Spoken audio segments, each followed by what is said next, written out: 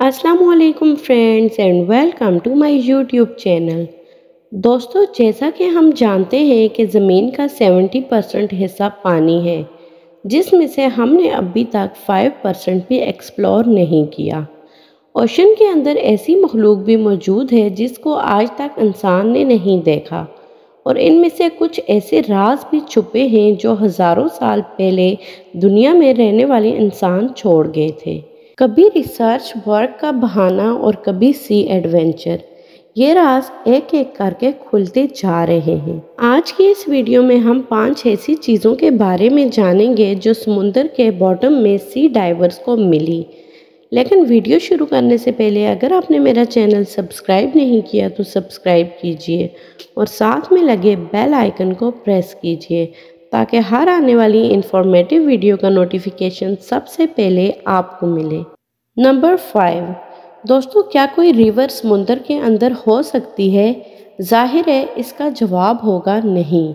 लेकिन मैक्सिको के युकाटन पेनन्स्यूला में स्कूबा डाइवर्स ने समुंदर के अंदर एक ऐसा सीक्रेट स्पॉट तलाश किया, जहाँ पर पानी के अंदर ही एक रिवर भी बहती है। हाँ समुंदर के अंदर बहने वाली रिवर रिव, असल में हाइड्रोजन सल्फाइड की एक थिक लेयर की वजह से बनी थी, जिसके नीचे एक गार से आने वाला साल्ट वाटर मौजूद है।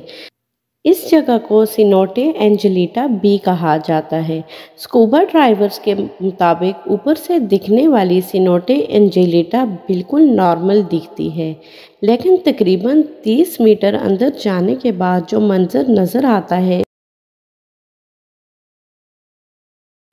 नंबर फोर अमेरिका में फ्लोरिडा के बीचेस बहुत मशहूर हैं, क्योंकि वहाँ पानी के साथ साथ अक्सर सी शेल क्रैब्स और मुख्तलिफ़ समुद्री मखलूक भी तैर कर साहिल पे आती है।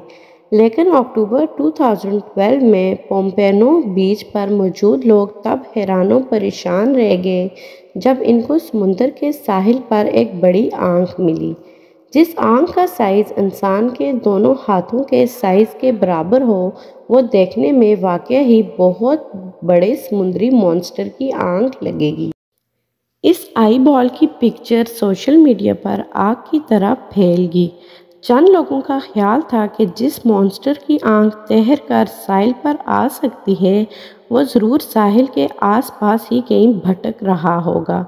इस खौफ की वजह से लोगों ने फ्लोरिडा के बीचेस पर जाना ही छोड़ दिया था। लेकिन जब ये आँख वाइल्ड लाइफ के डिपार्टमेंट में भेजी गई तो वहाँ कई एक्सपेरिमेंट्स और रिसर्च के बाद ये मालूम पड़ा कि ये आँख किसी जाइंट मॉन्स्टर की नहीं, बल्कि एक सॉर्ट फ़िश की है, जिसको शायद किसी मछेरे ने पकड़कर इसकी आँख निकाल कर वहीं समुंदर में फेंक दी होगी।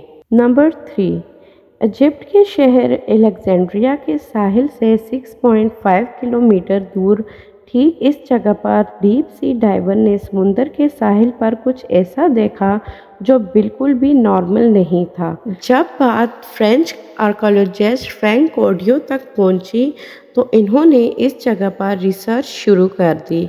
हैरत अंगेज तौर पे इस जगह से 64 शिप्स 700 एंकर सोने से भरे हुए ख़जाने 16 फीट लंबे स्टैचूज़ टूटी फूटी इमारतों के हिस्से और छोटे छोटे पत्थर मिले, जिन पर अजीबो गरीब ज़ुबान में कुछ लिखा हुआ था। जो खंडरात के नमूने वहाँ से मिले, वो समुंदर के अंदर ही कई कई किलोमीटर तक फैले हुए थे। मालूम पड़ा कि वहाँ पर तेईस सौ साल पहले इजिप्ट का एक बहुत बड़ा शहर हुआ करता था, जो शायद इजिप्ट का मेन पोर्ट सिटी हो और शायद वहाँ से मुल्क के कई कारोबारी मामला चलाए जाते थे। नंबर टू, दोस्तों, जब से ये दुनिया बनी है, तब से लेकर अभी तक जितनी भी कौमें यहाँ रहती थी, समुंदर इनके बेशुमार राज छुपाए हुए हैं। इटली के करीब समुंदर के बॉटम से डीप सी डाइवर्स को पुराने ज़माने में इस्तेमाल होने वाली मेडिसन्स मिली। देखने में ये टेबलेट्स आज के दौर की मेडिसन से काफ़ी अलग दिखती हैं।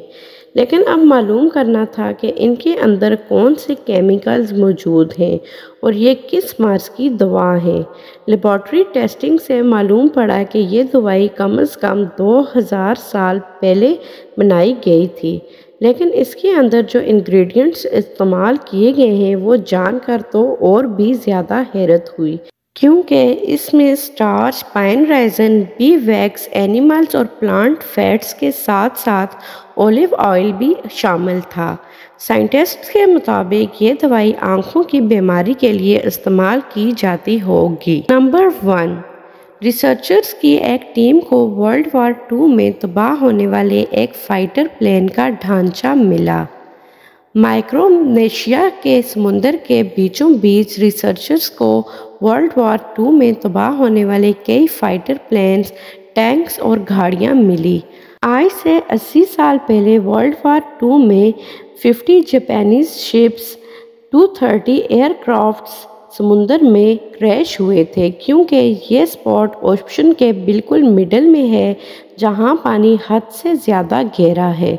इस वजह से अभी तक कई एयरप्लेन्स और शिप्स का मलबा तो आज तक नहीं मिल सका। इसकी एक वजह यह भी है कि जब प्लेन समुंदर के अंदर क्रैश होते हैं तो वो प्लेन जैसे नहीं दिखते। इनको देखकर अंदाज़ा लगाना मुश्किल होता है कि यह कोई प्लेन है या फिर कोई समुंदरी झाड़ी। तो ये थी आज की वीडियो। उम्मीद है आपको पसंद आई होगी।